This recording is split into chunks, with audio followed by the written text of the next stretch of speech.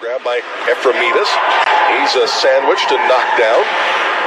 Now Dean after it. Ephraimidas tried to center it. He's got it now in the corner. Comes out in front and gets a backhand away and scores.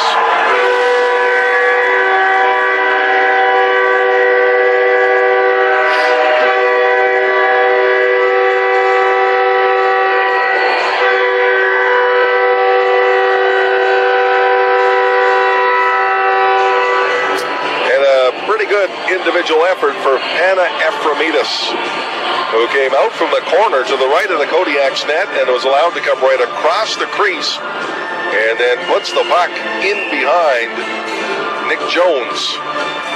And the Oil Barons have the early lead, one to nothing. Ephraimidas has his sixth goal of the season. And the Kodiaks will have to come from behind in this one. Right at the uh, Oil Barons blue line, but now a steal. for Ephraimidas, a shot saved by Jones. The rebound is knocked away. Truman to Ryan Sullivan, stopped in line, tipped in front, saved by Jones. Rebound, he dives, and he might have stopped that one too. As Justin Ross had a big opportunity, and I think Jones got a piece of it, sliding across. There's a shot that misses the net, comes off the backboards, and Nick Jones puts his glove on it. Near side, lost it. Here's Goche now, shot and blocked. He tried to come in front, and Gow's about to get a penalty here for goaltender interference. And now he gets a pushing side of the net. Now we might get more as uh, Denis trying to get his glove free to go after Callum Gow. Gow threw a right. Denis throws a right. Now Gow with a left. Oh, big left by Gow. That one stuck. Oh, goodness. Now Gow with an overhead right, and he connects. Oh, another right by the captain as he knocks Denis to the ice. Oh, and now Nadler's in the face of Gow. And now he has to go through Brenner to get to the dressing room. Oh, goodness. Well, that escalated quickly. The center, still with it. Dumps it in. Pass in front. Here's another pass. There's a shot. Big save by Nicholas Jones as he comes across and robs the Oil Barons player. Alvarez now. A pass in front, looking for Horan. Comes down, walks in front, shoots. Save made by Nadler off Horan. Walters only had uh, maybe one practice or a couple of practices. So there's a shot. They score.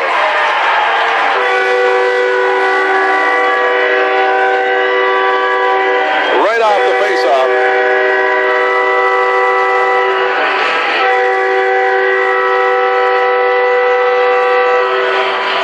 Right off the face-off, and Ryder Mater with a bullet. And beats Nicholas Jones, and the Oil Barons have the insurance goal. And now lead this one by a score of two to nothing. And for Mater, his uh, eighth goal of the season. Be an obvious assist on that one. Whoever won that draw might have been Wallace. And the Oil Barons get the big one here. They lead it now two to nothing. To center, Condro with it. He'll flick it back to Callahan. Callahan. They'll get it to uh, Sullivan. Shot. Save made a Rebound. Shot. They score!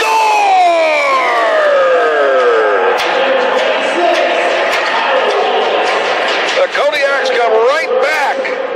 And Rock Truman, 42 seconds after the Oil Barons made it 2 to nothing, Truman scores.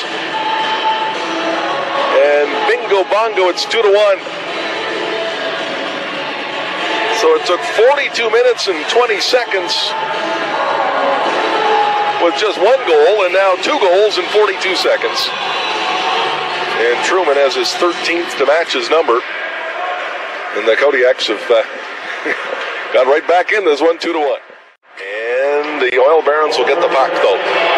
Here's Ty Wallace now. Wallace, a pass across. McCoy, empty net shot, scores.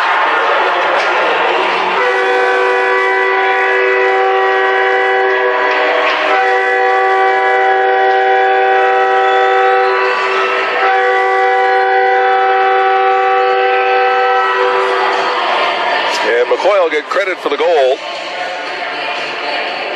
It actually eventually went off the stick of Ryan Sullivan as he tried to save that, but it went into the back of the net. So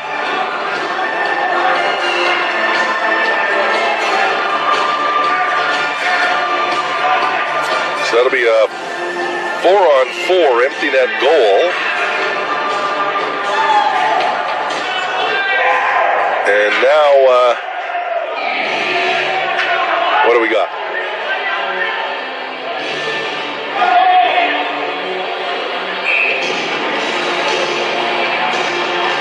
Stays four on four. And 3 1 Oil Barons. Block. Condor on the near side. That's going to do it. Oil Barons will prevail as uh, they'll win this one by a score of three to one. And unfortunate penalty there at the end of that game. Goodness, and now some jawing at the two benches, but the Oil Barons win this one three to one. Fortis Alberta post game show coming up from the Hometime Realty Broadcast Center. This is Wild Rose Co-op Kodiak Hockey, a new country, 98.1 FM.